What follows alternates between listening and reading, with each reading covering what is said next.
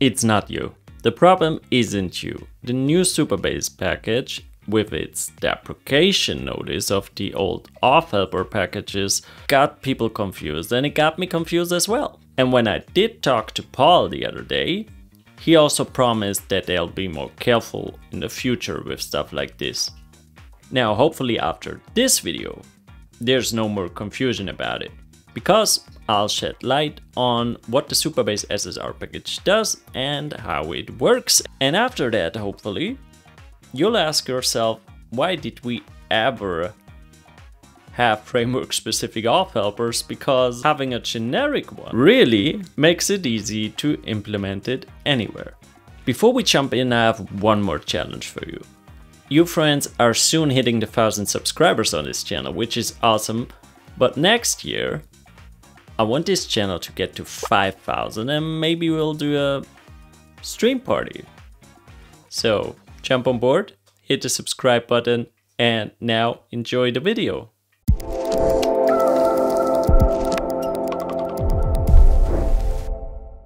Very honestly, the existing auth helpers were super confusing. I mean, we had create server component client, we had client component client, middleware client, pages browser client, pages server client, route handler client, server action client. Why? Why do all of those need a different client? In fact, they don't. And that's what Supabase recognized as well. So they came up with that SSR package. But funnily, another thing that's confusing with that one is it's called SSR, but it also exports a front-end function. Naming wise, a little bit of mystery mixed up. But don't worry, I'll explain it. Now, before we get rid of anything you have, we want to have a look at that new package. So install it with npmi, supabase, and then slash ssr. And when that's installed, let's have a look what it exports. Alright, that looks cleaner. And from those three exports, we're really only interested in two. Create browser client and create server client. Okay, let's start with the first one. What is it and why does it exist? Create browser client works in the same way as create client from Supabase.js.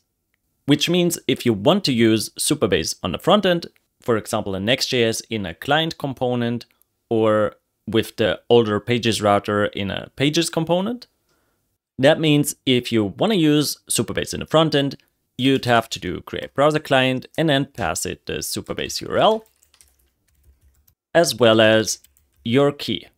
And since that is super annoying to write all the time, you just create a new file in a folder like util, for example. You just name that file supabase.js and then you just export create Supabase frontend client. Then you return create browser client from the SSR package. And now you can replace all of the occurrences in your project where you use create, client component client, or create pages browser client, or even just in any project that uses create client, create client. But this opens up a valid question. Why do we have create browser client when we can simply just use create client from the Supabase.js package? Well, they are in fact very similar. They can both work in a browser. However, the create browser client internally uses create client and slightly improves it by using a so-called singleton pattern, which avoids the recreation of a new frontend client all the time. And it's essentially the exact same thing as in the auth helpers when you used either create client component client or create pages browser client. So that's that. So you're good to go on frontend. Just import your new function where you need it. Okay, but that's just frontend. What about backend? Backend is a little bit more complicated. But promise, once you understand it, it's very easy. Let's start with a framework independent explanation first. So make sure to import create server client from the same package. And now we also want to do the same as we did for the frontend one. So create Supabase server client. And you guessed it, it's the same approach at first. Let's also make sure we use a proper Next.js variable. Okay, looks like it's done, but isn't. And this is where you have to pay attention. In a browser, everything's the same. There's a standard way of accessing cookies and writing cookies. In a server, there's not. In terms of standards, there is one. HTTP headers. The problem is how to access HTTP headers in each framework. That's different for each framework. Now we're coming to the point. Supabase just can't know where to get it from in such a generalized package. And this is what the auth helpers did before, the Next.js auth helpers, for example. But at the end of the day, the only difference was how to read and write the cookies. And this is what they generalized with this new package. So we have to pass away for the create server client that it knows how to read and write cookies. And that's an object in the third parameter. You provide a cookies property, and within that, you provide three functions. The first one is telling Supabase how to get cookies. So Supabase tells you the name, and you have to return the cookie with that name.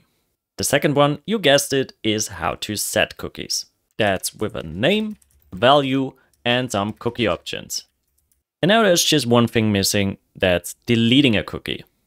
And that's done with remove. Also takes name and options. Now you know how the create server client works, but you don't know how to implement it. So the question now comes down to how can I get and set cookies with Next.js? And in Next.js, there are exactly two ways dealing with cookies. The easy one is with the new app router. It's in server component and in server actions and in route handlers. And that's the cookies utility function. The other one is by request and response object. So getting cookies from the request object and setting cookies with the response object.